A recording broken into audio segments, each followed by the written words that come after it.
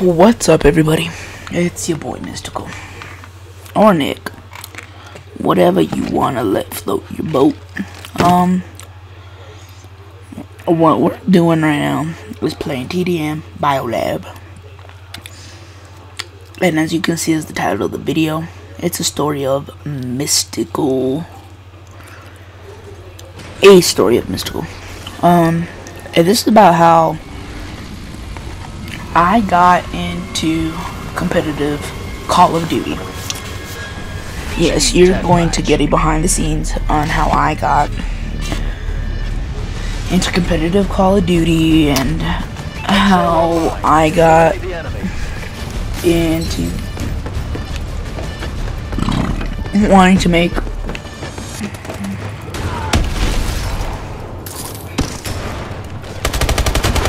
wanting to make Call of Duty a career. How I wanted to make Call of Duty a career is be competitive. And I know you could do it. And I just, I never thought I, I could do it. Um, sorry, excuse me if the gameplay's bad. Um, my hands are greasy. Are greasy. Um, see, little pre-aiming kids. Um,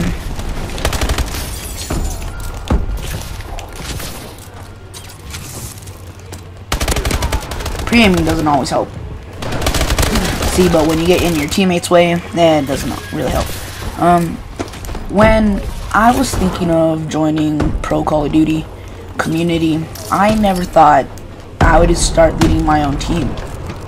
I was never thinking of taken the lead. leading a team called Shadow, a team with great aspect, a green, a team that already has its own clothing line, already sponsored. Um, We've taken the advantage.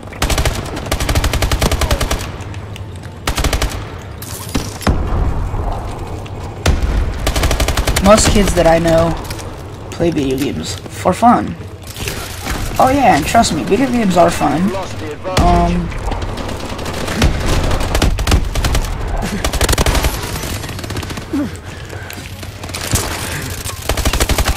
um, and a lot of people will say, no, video games aren't fun. I play it for competitiveness, and I play it for money.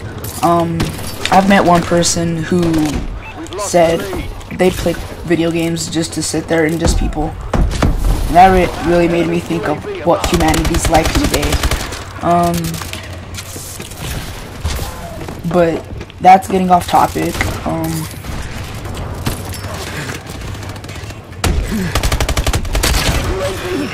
besides that, how we live today is from how we could live tomorrow, or how we could be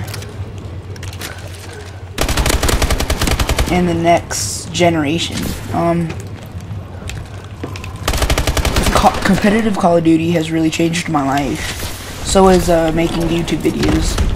Um, wow, man, these kids are just melting my face off right now.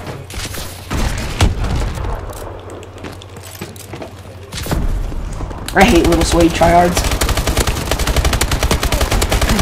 Like, honestly, look at this. Like, they are sweaty, but they are back on their heels right now. So sweaty. Losing this fight.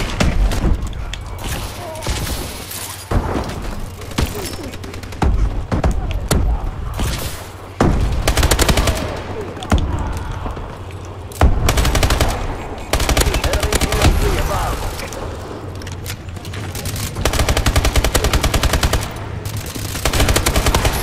Um, but besides that,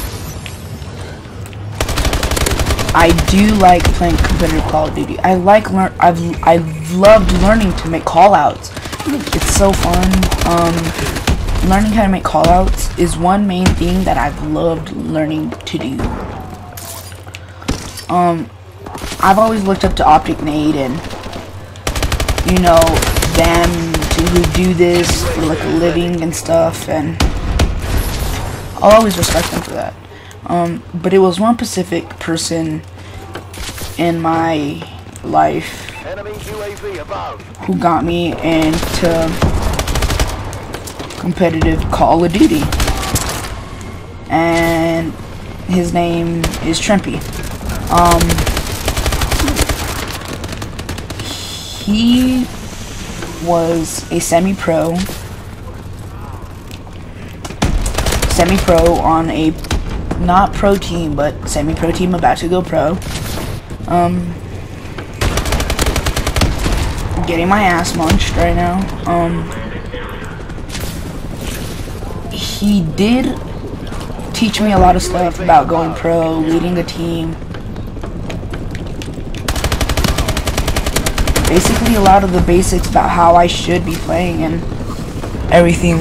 Um, certain things that I've learned is how I should be playing. I should be playing smart, not balls to the wall. Um, as well as just if your clan doesn't trust you, they won't trust they won't trust the leader. Well, if you don't trust your clan, they won't trust you. Um right now he's on and this is still talking about him. Um he's on a, I think a semi-pro sniping team. Well, sniping teams I don't really think are pro, but you can think what you want of them. Um, to be honest, just to be honest, he taught me as much as he taught me more than what I knew. I could say because he taught me half the stuff I knew, but I already knew, except the callouts and the rotations of maps. Because I know hard points are a ma- major theme, and I know knowing how to play is playing S and D is a major thing. He was the one who got me into doing GBs. Um, yeah. And if you guys want to go check him out, we'll, I'll leave a link to his YouTube down below. Um, and he's helped me a lot with it. Um, there's certain things that I can't I can't say he's helped me with because helping me do shadow. He wasn't here with me. He was in shadow, but he wasn't here helping me do it. He was in shadow, but he wasn't as much as here as he he thought he was. Um, but he wasn't here as much as he thought he was as much as he thought he would like to think he was. Yeah, he helped me get certain members and stuff. But right now, I wouldn't be anywhere where I was at in Shadow without me.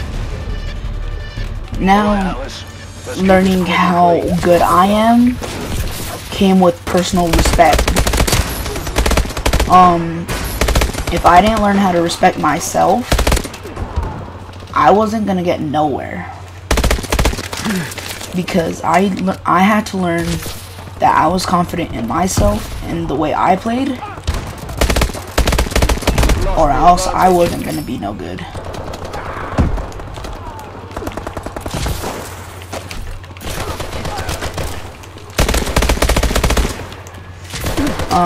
Besides that, I really, I still do thank him about helping me learn about doing competitive because the only two things he really helped me learn about competitive were the callouts and learning what I had to do. Um, to be honest, besides that, if I wanted to, all I had to do was find a team. But there was certain stuff he helped me, but not very much. Like those were basically really the only two things he helped me with. Um, but yes, he was a very big help. Enemy UAV online. Um, so I, I'll always thank him for that. Um, So yeah. Our UAV is online.